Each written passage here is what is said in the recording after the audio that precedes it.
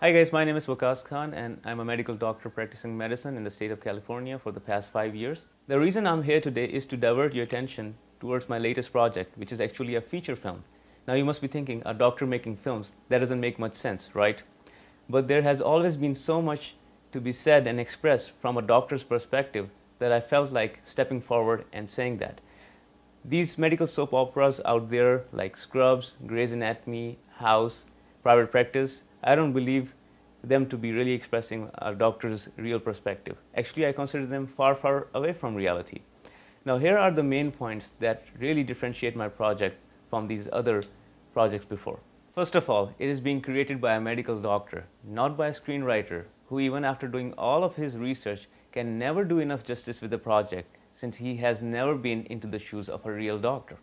Rather than focusing on doctor's sex life, it deals with the actual real issues going on in a doctor's laborious life and debunks lots of myths and urban legends that have been made wrongly about the doctor. Instead of keeping you in the state of the art, top notch private hospital, my project brings you into the bitter and harsh reality of a city or county hospital, where just to even get a simple blood workup or medication refill, you may end up wasting your whole day. It really deals with the real issues why our healthcare system is so much screwed up and why it needs a drastic overhaul. For the first time, it deals sensitive issues like who pays what to who, why is Obamacare so much necessary, or is it going to be as effective as it claims to be, why there's so much skepticism associated with that.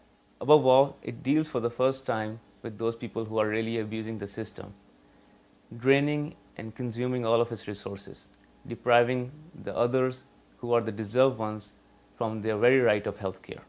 It involves patients, yes, irresponsible patients who are sucking up these resources like parasites.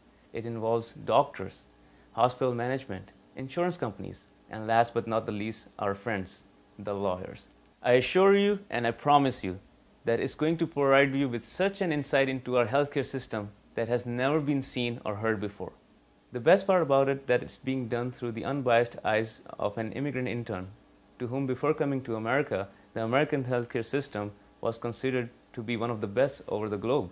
But soon working in big waters, his eyes open up to reality and his morale is shaken. It's his journey to self-realization, discovering himself and finding his role and value in this newly introduced society. We are doing it in a very realistic way but at the same time we are giving it a comical touch as well while extracting humor out of the irony of the situations. I assure you, this is not Scrubs, Grey's Anatomy, or House. This is the real deal, as it's inspired by my own experiences while working in a New York City hospital.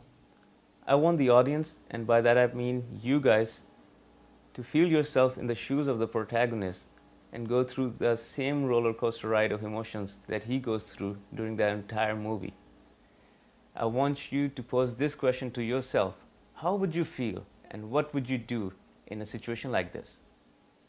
Now to bring this project to reality, we desperately need your help. Anything, even a small feedback is highly appreciated. I want you to feel this project as your own because as long as you and your loved ones have a life, you need healthcare. And for that, you need to know healthcare.